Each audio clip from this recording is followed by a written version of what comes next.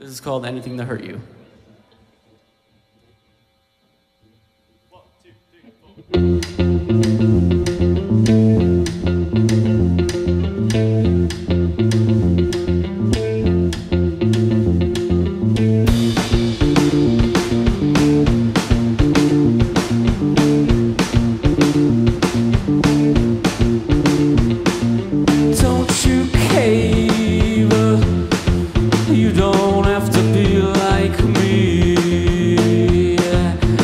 don't have to make the same mistake.